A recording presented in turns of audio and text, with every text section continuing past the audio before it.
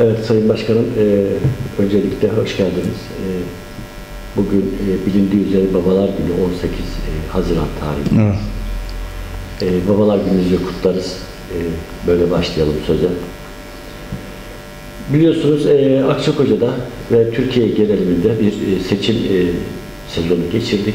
E, seçimler öncesi e, veya bir gerginlikler falan yaşandı yani fikirsel açıdan falan.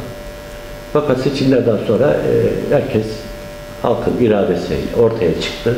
Evet. E, bununla ilgili e, düşüncelerinizi alabilir miyim? Ben de baba olarak özellikle babalarının öbür aleme intikal eden tüm babaların evlatlarının babalar gününü kutluyorum. Bir baba ve dede olarak da herkesin babalar günü hayırlı uğurlu olsun, kutlu olsun diyorum. Seçim Türkiye'de her beş yılda olan bir gerçek ve gelenek. E, haliyle e, vatandaş kendi isteği arzusu doğrultusunda mutlu ve memnun olduğu partiler üzerine kararını kılıyor ve bir şekilde e, ona oyunu veriyor. Şu anda Cumhur İttifakı e, gayet güzel bir şekilde seçimi kazanmıştır. Hayırlı uğurlu olsun. Vatandaşın mutlu ve memnun olduğu bir yerde bunlar çok derinlemesine tartışılmasına gerek yok. Vatandaş demek ki bu iktidardan mutlu ve memnun. Bunu böyle değerlendirmek lazım. Karşı taraftan umduğunu bulamadı. Bulana kadar da bu iktidarla devam edecek. Ben ülkemize, milletimize e, genel seçimlerin e, hayırlı uğurlu olmasını temenni ediyorum. İnşallah e, büyüme noktasında, gelişme noktasında, hizmet noktasında hataları varsa o hatalarını görmüşlerdir. O hataları düzeltmek kaydıyla daha da güzel bir yönetim anlayışı verecekleri inancı içerisindeyim. Evet başkanım e, bilindiği üzere e, yaşadığımız kent Akçakoca. Akçakoca ilçemizi e, yaklaşık e, çok eski yani 20 yılı aşkın öncesinde belediye başkanlığı yaptınız. Akçakoca'nın sorunlarını o dönemdeki e, sorunlarını e, biliyordunuz, e, çözdünüz, bazı sorunlarını da çözdünüz. Yaklaşık 9 yıl sonra e, devir teslim yaptınız ve yıllar geçti.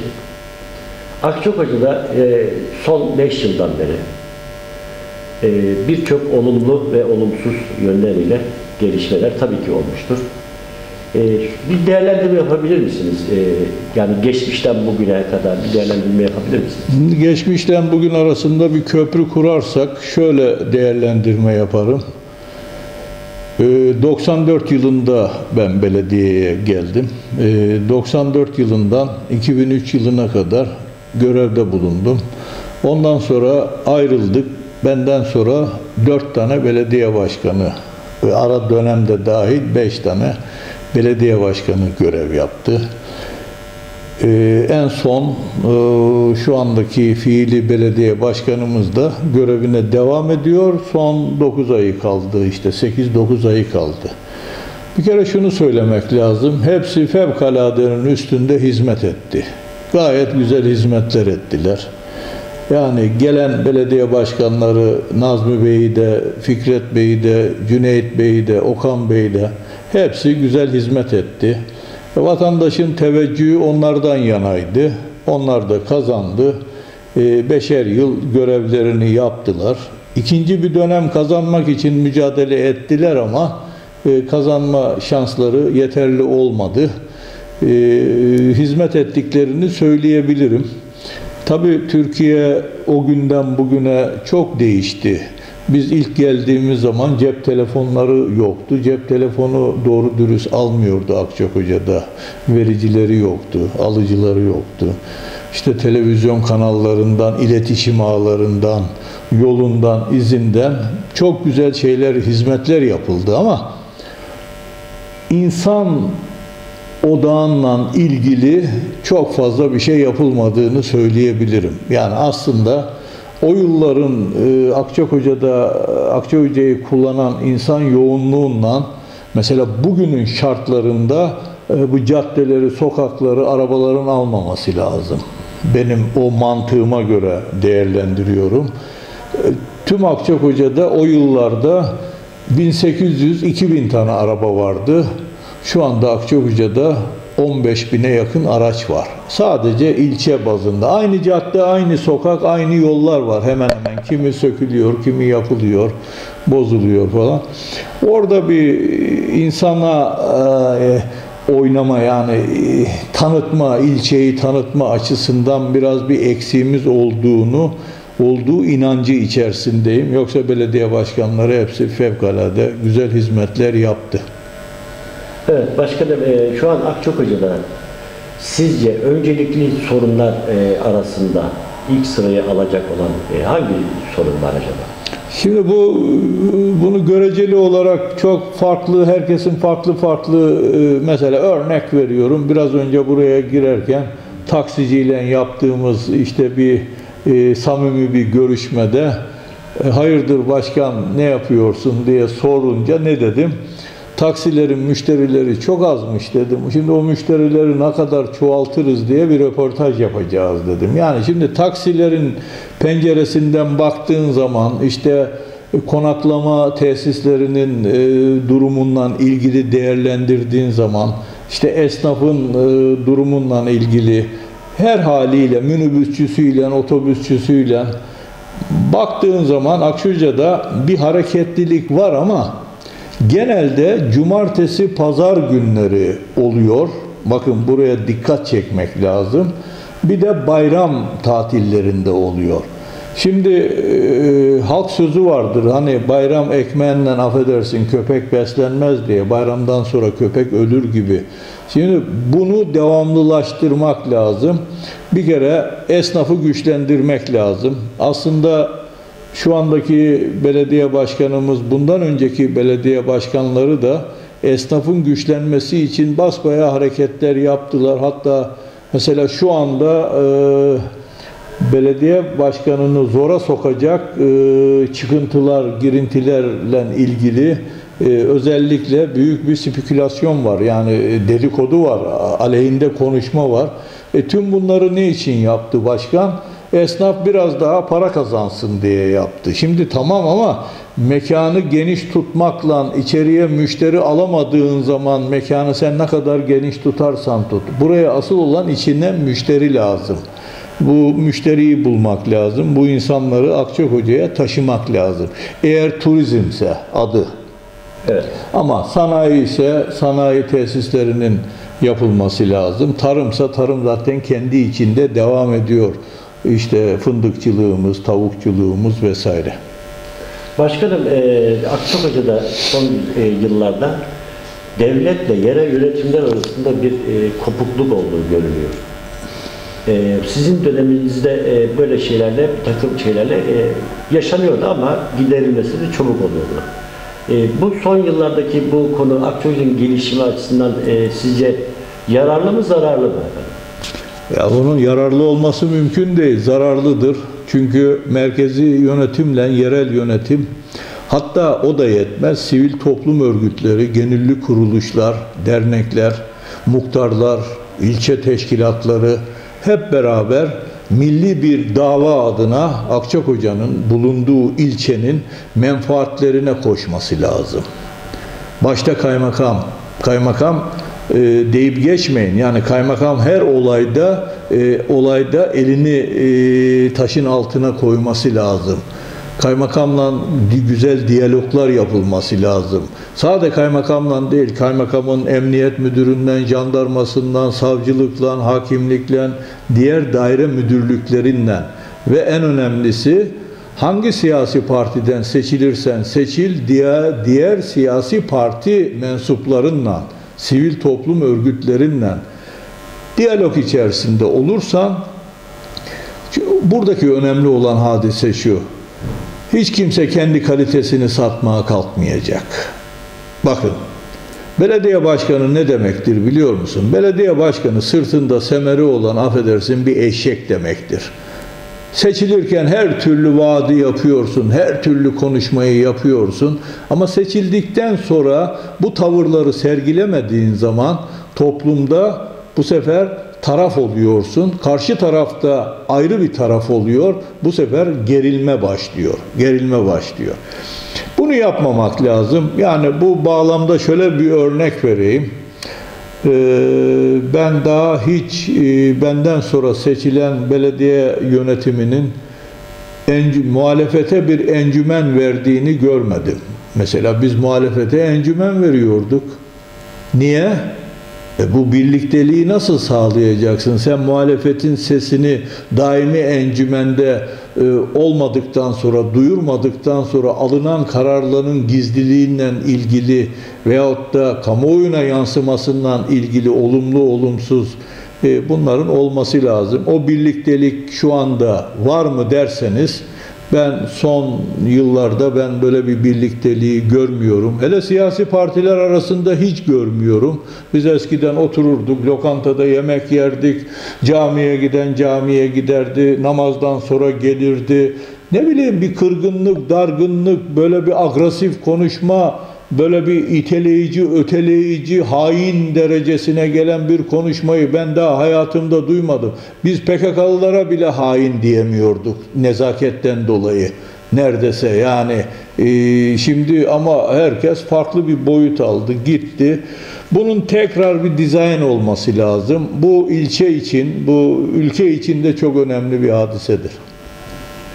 Evet başkanım e, bir de e, sorunlardan bir tanesi ilçemizdeki basın e, konusu var. Yazılı ve görsel basın, internet üzerinden yayınlanan basın e, şeklinde. Basında bir e, kopukluk, bir e, ne gibi bir olumlu olumsuz neler görüyorsunuz başkanım? Şimdi basında ben şöyle değerlendireyim basını. O onu çok kafayı yordum ben o işe. İşin sonunda şöyle bir sonuç çıkarttım. Şimdi biz her şeyi biraz da basından bekliyoruz. Yani basın müdahale etsin. İşte bak şurada kaçak bir şey yapılıyor, basın gitsin. Yanlış bir şey yapılıyor, basın el koysun. Basın basın el koyması için vatandaş olarak ilk önce sen parmağını basacaksın oraya. Ama vatandaş olarak biz şikayette bulunmuyoruz. Komşuluk ilişkilerimiz, dostluk, akrabalık ilişkilerimiz kötü olacak diye. Ve bu sefer basın da bana ne diyor? Yani ben diyor niye diyor kendi kendime iş alayım diyor. Yani burada neme lazımcılık var, sana necilik var, bana necilik var.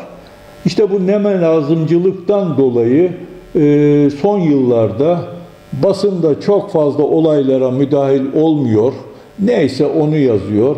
Kendi dümeninde, kendi çıkarında diyelim, kendi geleceğinden ilgili e, hayatını devam ettiriyor. Yani basına bir de şöyle reklam vereceksin, basını ayakta yaşatacaksın ki o da senin için mücadele edecek. E şimdi ben bir bakıyorum, e, doğru dürüst yani kast- gazete çıkartan da çok az bir basın var. Belki haftalık mı çıkartıyor? E, herhangi bir reklamı da görmüyorum. Belirli kişiler bir reklam veriyor. E, o reklam parasından ne kadar e, ayakta durulur? Masraflar arttı, cari giderler fazlalaştı. Yani basını iki türlü değerlendirmek lazım. Öyle taraflı işte basın satın satılmış gibi e, değerlendirme biraz şey olur, e, fazla olur, acımasız olur. E, yani o da onu da sen doğru yola kendin vatandaş olarak çekeceksin. E, Kürsüye çıkıp e, değerli milletvekilleri, e, işte değerli siyasi partilerimizin temsilcileri çok saygıdeğer basın mensupları demesini biliyorsun. E, arkasından da kötü demeyeceksin. Yani bu, bu kadar basit. Eğer o çok saygıdeğerse ona değeri kadar değer vereceksin. Evet.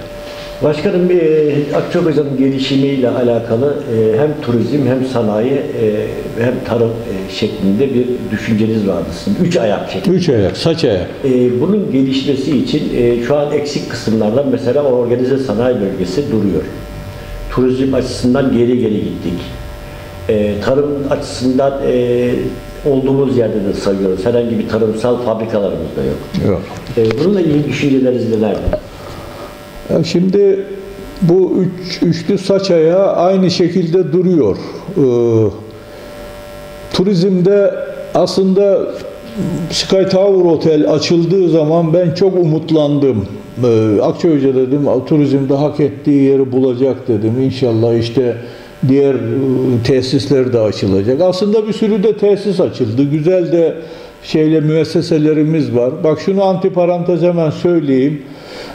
Biz illerle e, en gelişmiş turizm ilçeleriyle boy ölçüşecek derecede müesseselerimiz var, tesislerimiz var, restoranlarımız var, otellerimiz var, kafelerimiz var, e, oturma yerlerimiz var, çay alanlarımız var, gezinti alanlarımız var, kordonlarımız var. Var. Yani gerçekten şehrin dekorasyonu çok güzel, mobilyası gayet güzel, yani ulaşımı gayet güzel, e, her şeyimiz var ama turizmde istenilen noktaya gelinmedi. Yani ben de bir otel çalış otel sahibi sayılırım. Yani otel çalıştırıyoruz şu anda. E, doluluk oranımıza baktığın zaman e, diğer otel sahiplerinden de görüşün. Hoş ben afaki bir şey söyleyecek halim yok. Yüzde 50'lik 50 doluluk var ya bizim için çok büyük bir rakam. Böyle bir şey yok şu an itibariyle. Yazın bile olmayacak gibi görülüyor. Ha inşallah olur. Temennimiz o. Şimdi sanayiye bakınca zaten geçmişten 1980'li yıllarda sanayi tesislerimiz vardı. Ümran boru, çınar boru, sevil profil, ağır hattane vesaire, özdemir profil. Şimdi ee, yeni bir organize sanayi bölgesinden ilgili 5 yıldır 10 yıldır bir hazırlık içerisinde ihtisas organize sanayi bölgesi tabelası asıldı oraya koruldu. Kamulaştırma yönünde bazı uzlaşmalar oldu. Mahkeme sorunu var. Devam ediyor. İnşallah o olduktan sonra sanayide de belirli bir şey harekete gireceğiz. Türkiye'nin neresini gezerseniz gezin sanayide Türkiye almış başını gidiyor. Bakın ben tırlarla gezen de bir arkadaşınızım. Her yerde çok modern, gelişmiş organize sanayi bölgeleri var. İşte bunun Akçakoya'da olması lazım. Tarıma sıra gelince e, fındık zaten kendi içinde devam ediyor. Fındık Allah versin dedelerimiz memleketten gelmiş, ekmiş buraya fındığı. İşte biz de onun üçüncü kuşakları olarak e, topluyoruz, biçiyoruz, yiyoruz. Hayatımız devam ediyor. E, bunun yanında broiler besit tavukçuluğu nispeten yapılıyor. Ama burada en önemlisi şeyi söyleyeyim. E, fındıktan sonra Akçayhoca'nın en büyük girdi kaynağı nakliyecilik sektöründendir. Yani taşımacılık, tırcılık, işte bu Ümran borunun yükleri, Çınar borunun yükleri, Sevil profilin yükleri ve Ereğli demir çelikten aldığımız yüklerle beraber 150 araba, 150 tırla birlikte Türkiye'nin dört bir yanına taşıma yapıyoruz. Şu anda Akçakoca ekonomisine katkısı fındıktan sonra ikinci sıradadır. Bunu da söylemiş olayım. Evet değerli izleyiciler birinci bölümümüzün e, son sorusuna gelelim. Son sorusu birinci bölümümüzün. E, ikinci bölümde ise e, biraz daha siyasete ağırlık vereceğiz. Birinci bölümümüzün son sorusunda Düzce vilayet olmasının ardından Akçakoca ile Düzce arasındaki bağlantı da kopukluk var mı yok mu sorusu. Buyurun başkanım. Var olduğu söyleniliyor. Ben çok aktif olarak içinde değilim. Herhangi bir il koordinasyon toplantısına katılmadım. E, Vali Bey'i görsem yani belki sokakta, televizyonda gördüğüm için tanıyabilirim. E, onun haricinde çok iş, iç içe değilim. Ama aldığım duyumlara göre eskiden Bolu Düzce e, şeyi vardı, tartışması vardı dağın altı, dağın üstü diye. Şimdi de Düzce Akçakoca işte halbuki ben Düzce e, siyasetçilerinden, Düzce'nin sosyal kültürel yapısıyla Akçakoca'nın bir olduğu inancı içerisindeyim. Biz yeni vilayet yapıldığımız zaman birimiz hepimiz hepimiz bir plakamız 81 gibi sloganlar meydana getirmiştik. O zaman en ufak bir bölünme, en ufak bir ayrıcalık yoktu. Hatta Akçakoca Düzce ilinin e, o yıllarda ilçesinin ve ilinin il olduktan sonra ilinin ön bahçesi, arka bahçesi konumundaydı. Biz yaptığımız her çalışmada Düzce'nin ismini en öne koyuyorduk. ama Düzce'den de istenilen yardımı alıyorduk. Biz Bolu'dan da vilayetimizken alıyorduk valilerimizden. Bizim öyle bir şeyimiz yoktu. Bu biraz da kişilerle ilgilidir. Yani tavırlı olmayacaksın. Herkes vicdanı kadar ağlar. Vicdanından başka hiç kimse ağlayamaz. Onun için e, burada tavra gerek yok. Burada işte ön kapmaya, köşe kapmaya da gerek yok. Kendi ilçen adına çıkacaksın sorunlarını güzelce il koordinasyon toplantısında, televizyonda, basında, vali beyin kendisine, diğer siyasi e, kurumun başında olan milletvekillerine güzelce anlatacaksın. Yani Akçakocasız bir Düzce'nin ben e, çok mutlu olacağı inancında değilim. Niçin? Yani Cuma yerine ne kadar değer veriyorsa, Gölyaka'ya, Yığılca'ya ne kadar değer veriyorsa aynı değerden fazlasını bile Akçakoca'ya vereceği inancındayım. Çünkü tüm Düzceliler cumartesi, pazar ve havaların güzel olduğu zamanlar buradalar. Yani ben buna aslında katılmıyorum. Bunu bunun altını araştırmak lazım. Yani ben öyle bir Düzce'nin bize karşı soğukluğu var lafı nereden geldiğini bilmiyorum. Ha milletvekili sıralamasında gelebilir. Ee, milletvekilliği sıralamasında Akçakoca'ya sıra verilmiyor gibi düşünebilirler. E Akçakoca'ya çok sıra verdiler de Akçakoca yani ne kadar kendi insanına da sahip çıktı. Ona da ona da dikkat etmek lazım. Yani hep konuşuyorlar ama hatta Nazmi Bey'in bir sözü var. Ee, kendisi Akçakocalı. E, Göynük'ten, Seben'den daha fazla oy aldı Akçakoca'dan. Doğru yol milletvekili olduğu dönemde. E Ondan sonra diğer Mustafa Karslıoğlu var aynı şekilde milletvekili. Bunları da konuşmak lazım ama tabii bunları makul bir ölçüde kırmadan, geçirmeden, karşı tarafı da dinleyerek. Mesela şu anda Düzce Belediye Başkanı Faruk Bey'in Konrad Antik e, kentin ortaya çıkartılması, o amfiteyatroların ve diğerlerinin bu Akçakoca turizmine çok faydası olan bir çalışmadır. Mesela bu göz ardı edilemez. Düzce'den daha yakın Akçakocadan Üsküp'ü yani nedir otelde yatan bir tur için turların buraya gelmesinden ilgili bir de bir çalışma yapılması lazım. Bu bölümü olmazsa böyle kapat. Evet, e, değerli izleyiciler e, bu bölümü bu şekilde kapatıyoruz. E, diğer bölümde siyaset e, konuşacağız. Siyasette belediye başkan adaylıkları konuşacağız, partileri konuşacağız. Şimdilik hoşçakalın. İyi günler.